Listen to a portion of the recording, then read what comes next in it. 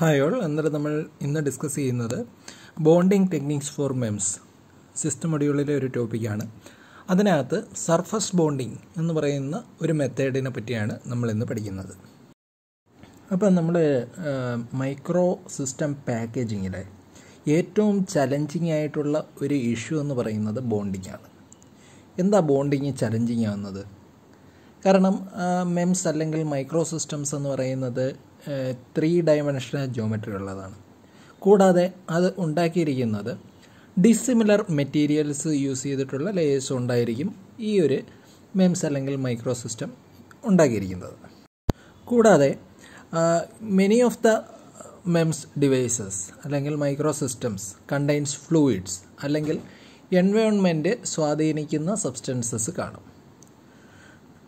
So, hermetic sealing of these media is required for many of the bonding surface. Hermetic sealing എന്ന് വെച്ചാൽ air tight സീലിങ്ങിനെയാണ് hermetic sealing എന്ന് പറയുന്നത് also in many cases bonded dissimilar materials are expected to simultaneously achieve herm hermetic sealing and provide flexibility at the sealing surface for die isolation as will be described in more detail in the case of micro pressure sensor package അന്നേരം ഇതെല്ലാമാണ് surface ഈ ബോണ്ടിങ്ങിന് bonding എന്ന് പറയുന്നത് ഏറ്റവും bonding എന്ന് പറയുന്നതാണ് ഒരു micro system പാക്കേജിങ്ങിന്റെ ഏറ്റവും വലിയ ചലഞ്ചിങ് ഇഷ്യൂ എന്തൊക്കെയാണ് കാരണം?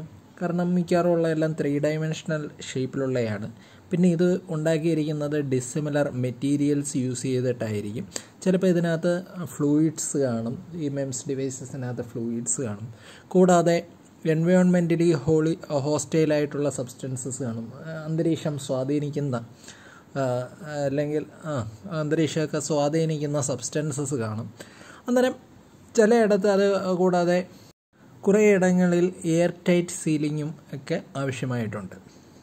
സോ നമുക്ക് പറയാം ബോണ്ടിങ് എന്ന് പറയുന്നത് വളരെ ഇമ്പോർട്ടന്റ് ആയിട്ടുള്ള ഒരു ചലഞ്ചിങ് ഇഷ്യൂ ആണ് ഏതിന്റെ കേസിൽ? മൈക്രോ സിസ്റ്റം ഡിസൈനിങ്ങിന്റെ അല്ലെങ്കിൽ മൈക്രോ സിസ്റ്റം പാക്കേജിങ്ങിന്റെ കേസിൽ. ഇപ്പോൾ ഇനി നമുക്ക് സർഫസ് ബോണ്ടിങ് നമുക്ക് നോക്കാം. സർഫസ് ബോണ്ടിങ് എന്ന് വെച്ചാൽ സർഫസിലായിരിക്കും നമ്മൾ എന്ത് ചെയ്യുന്നത്? ബോണ്ടിങ് നടത്തുന്നത്. അല്ലേ? അന്നേരം അഡിസീവ്സ് നമ്മൾ ഉണ്ട് അഡിസീവ് ബോണ്ടിങ് ഉണ്ട്. അഡിസീവ് എന്ന് വെച്ച് കഴിഞ്ഞാൽ അത് attaching used for attaching dies on to the supporting constrained bases എന്ന് വെച്ചാൽ കൺസ്ട്രെയിൻഡ് സപ്പോർട്ട് ചെയ്യുന്ന കൺസ്ട്രെയിൻഡ് ബേസിൽ എന്താണ്? ഡൈ അറ്റാച്ച് ചെയ്യാൻ വേണ്ടിയിട്ടാണ് നമ്മൾ എന്ത് യൂസ് ചെയ്യുന്നത്? അഡിസീവ്സ് യൂസ് ചെയ്യുന്നത്. ഒരു എക്സാമ്പിൾ പറയുകയാണെങ്കിൽ നമ്മൾ പ്രഷർ സെൻസറിനകത്ത് സിലിക്കൺ ഡൈ എന്ന് പറയുന്നത് ഒരു ഗ്ലാസ് കൺസ്ട്രെയിൻ ബേസിലാണ് അറ്റാച്ച് ചെയ്തിരിക്കുന്നത്. ആ അറ്റാച്ച് ചെയ്തിരിക്കുന്ന മെത്തേഡ് എന്ന് പറയുന്ന അഡിഷൻ മെത്തേഡ് യൂസ് ചെയ്തിട്ടാണ് എന്താണ് ഗ്ലാസ് കൺസ്ട്രെയിൻ ബേസിനകത്ത് സിലിക്കൺ ഡൈ പ്രഷർ സെൻസറിന്റെ കേസിൽ അറ്റാച്ച് ചെയ്തിരിക്കുന്നത്. There are two commonly common adherence used for this type of bonding അന്നേരം ഈ അഡിസീവ്സിനകത്ത് മെയിനായിട്ടും രണ്ട് അഡ്ഹറൻസ് ആണ് ഈ ബോണ്ടിങ്ങിന് വേണ്ടിയിട്ട് നമ്മൾ യൂസ് ചെയ്യുന്നത്. എപ്പോക്സി റെസിൻസും അതേപോലെ സിലിക്കൺ റബ്ബേഴ്സും അപ്പോൾ ഈ ഒരു ബോണ്ടിങ്ങിന് വേണ്ടിയിട്ട് യൂസ് ചെയ്യുന്ന ഡിഹറൻസ് ഏതൊക്കെയാണ്? എപ്പോക്സി റെസിൻസും സിലിക്കൺ റബ്ബേഴ്സും ആദ്യം നമുക്ക് എപ്പോക്സി റെസിൻസിനെ പറ്റി നോക്കാം. അപ്പം ഈ എപ്പോക്സി റെസിൻ ബോൺസ് അത് ബോണ്ട് ഡൈസിന് നല്ല ഫ്ലെക്സിബിലിറ്റിയും കൂടാതെ ബെറ്റർ സീലിങ്ങും പ്രൊവൈഡ് ചെയ്യും. അന്നേരം നമ്മൾ ഈ ഗുഡ് ബോണ്ടിങ് നമുക്ക് എങ്ങനെ ഉണ്ടാക്കാം? അതേപോലെ പ്രോപ്പറായിട്ട് നമ്മൾ എന്താണ് ഈ സർഫസ് ട്രീറ്റ്മെന്റ് ഒക്കെ ചെയ്ത് നമ്മൾ ബോണ്ടിങ് ചെയ്യുകയും കൂടാതെ അതിനെ എന്താണ് കൺട്രോൾ ക്യൂറിങ് പ്രോസസ്സൊക്കെ കൺട്രോൾ ചെയ്ത് നമുക്ക് എന്ത് ഫോം ചെയ്യാം? ഗുഡ് ബോണ്ടിങ് ഫോം ചെയ്യാം. അങ്ങനെ പക്ഷേ ഈ എപ്പോക്സി റെസിൻസ് എന്ന് പറയുന്നത് തെർമൽ എൻവയോൺമെന്റ്സിന് ഡിപ്പെൻഡ് ചെയ്യുന്നതാണ്. എന്ന് വെച്ച് കഴിഞ്ഞാൽ തെർമൽ വേരിയേഷൻസ് എപ്പോക്സി റെസിൻ ബോണ്ടിനെ അഫക്റ്റ് ചെയ്യും. ഈ ബോണ്ട് ഈ എപ്പോക്സി റെസിന് യൂസ് ചെയ്തിട്ടുള്ള ബോണ്ട് എന്ന് പറയുന്നത് എപ്പോഴും ഗ്ലാസ് ട്രാൻസിഷൻ ടെമ്പറേച്ചറിനെ കാട്ടിയും താഴെയായിരിക്കണം ആ ബോണ്ട് ഇരിക്കുന്നിടത്ത് ടെമ്പറേച്ചർ എന്ന് പറയുന്നത്. അപ്പം ഈ ഗ്ലാസ് ട്രാൻസിഷൻ ടെമ്പറേച്ചർ എന്ന് പറയുന്നത് ഏതാണ്ട് one fifty two three fifty ആ ഡിഗ്രി സെൽഷ്യസ് റേഞ്ചാണ് നമ്മളിവിടെ ഈ ഒരു ബോണ്ട് എന്ന് പറയുന്നത് നോർമലി ഈ ഒരു one fifty to one seventy five degree Celsius one seventy five ആണ്. വൺ സെവന്റി ഫൈവ് ഡിഗ്രി സെൽഷ്യസിന് താഴെയായിട്ടായിരിക്കും നമ്മൾ ഈ ബോണ്ട് എപ്പോഴും ഇങ്ങനെയുള്ള ബോണ്ട് നമ്മൾ ചെയ്യുകയാണെങ്കിൽ അത് പ്ലേസ് ചെയ്യേണ്ടത്. അല്ലാതെ അതിൽ കൂടുതലുള്ള ടെമ്പറേച്ചറിൽ ഉള്ള അറ്റ്മോസ്ഫിയർ അല്ലെങ്കിൽ എൻവയോൺമെന്റിൽ നമ്മൾ വെച്ച് കഴിഞ്ഞ് കഴിഞ്ഞാൽ ഇത് ഇതിന് എന്താ ഈ ബോണ്ട് ബ്രേക്ക് ആവുകയും ബോണ്ടിനെ അത് അഫക്റ്റ് ചെയ്യുകയും ചെയ്യും.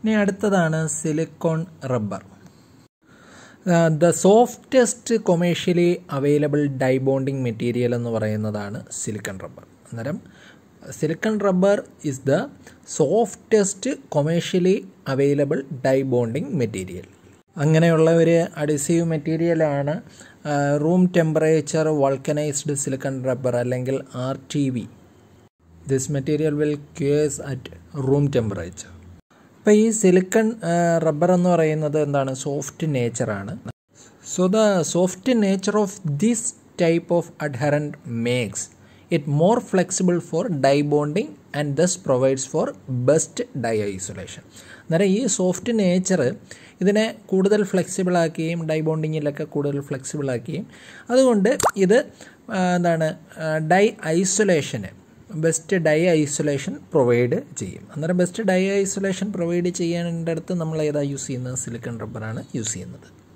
പക്ഷേ ഇതിന്റെ ഒരു ഡിസഡ്വാന്റേജ് എന്ന് പറയുന്നത് the chemical resistance of this type of material is not as good as good and peeling and flaking develop when it gets in contact with air.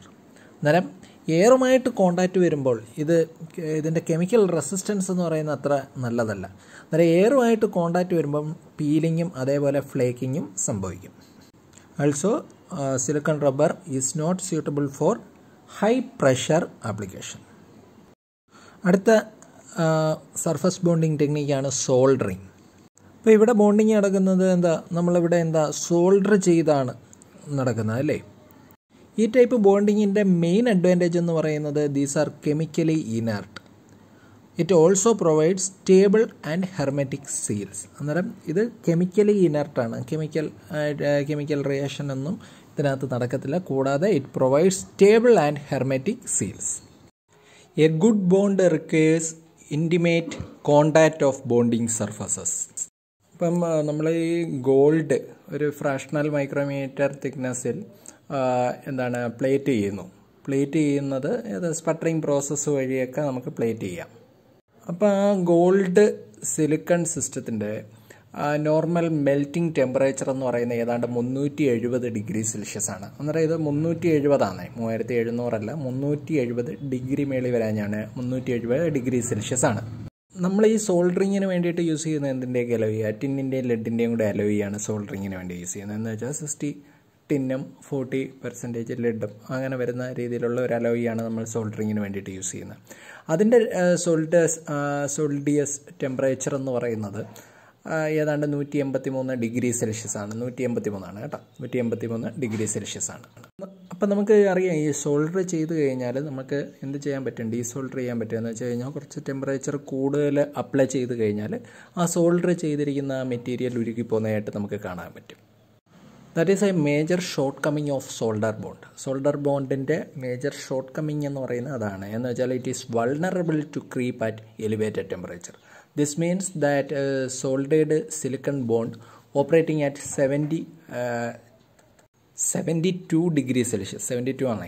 Seventy two degree Celsius or above will subjected to creep deformation അതാണ് soldering ബോണ്ടിന്റെ ഒരു main disadvantage അതാണ് surface bonding നമ്മളിപ്പം പഠിച്ചത് ഏതെല്ലാമാണ്?